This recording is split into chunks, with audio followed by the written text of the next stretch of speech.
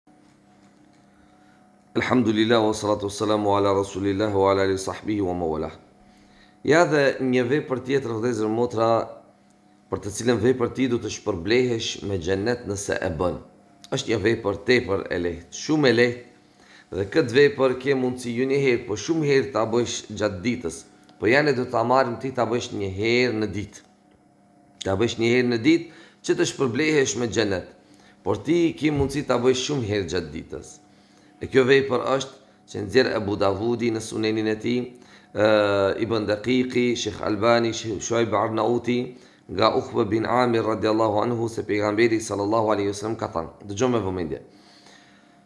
Men tawadda, kush merr abdes, fe yuhsinul wudu, mirëpo e merr abdesin mirë qysh duhet, duke i plotësuar ruknet e abdesit, duke i plotësuar kushtet, vaxhibatet, O ju sali rekatejn, dhe pastaj i fal dy rekate namaz.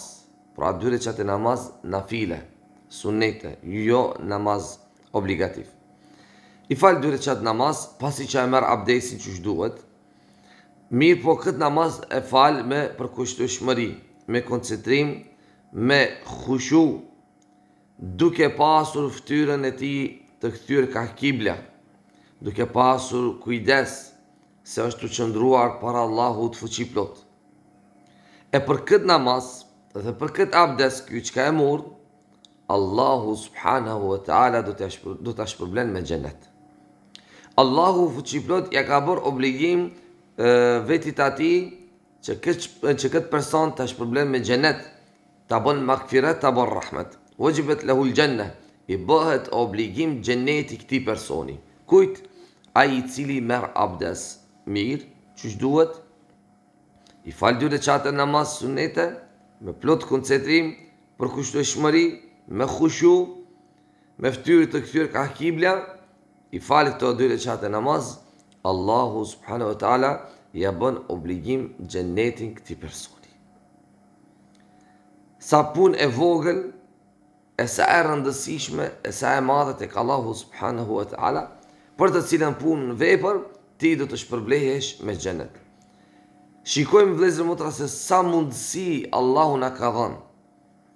Sa vepra të ndryshme kanë ardhur Ose janë cekur, janë përmendur prej anës së pejgamberit sallallahu alaihi wasallam, pra i ka cekur pejgamberi sallallahu alaihi wasallam, ose janë të cekur në librin e Allahut subhanahu wa taala, nëse ne i bëjmë do të shpërblehemi me xhenet. Qofshin ato vepra, qofshin ato fjalë.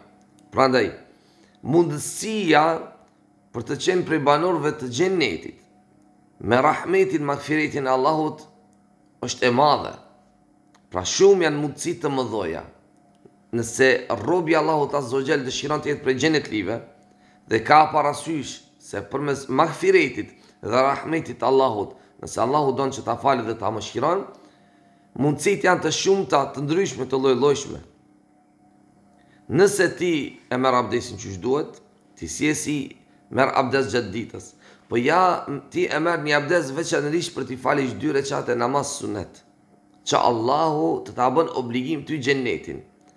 E çfarë të pengon o rob i Allahit? Çfarë të pengon që ti ta marrish një abdes qysh duhet dhe t'i falësh dy rekate namaz për Allah? Dy rekate namaz për Allah, të cilat dy rekate namaz do të marrin tre katër minuta. Tre katër minuta duke pasur parasysh ne me orë të tëra i humbim nëpër rrjetet sociale. Me orë të tëra i humbim nëpër rrjetet sociale e kur vjen puna për t'i falur dy rekat namaz për tre katër minuta e shumë shumë u dukshkan Allahu na falt e na mëshiroft prej xhenetlive Allahu na boft në xhenet me pejgamberin sallallahu alejhi ve sellem na takoft e na bashkoft Wa akhiru dawana enilhamdulilahi rabbil alemin.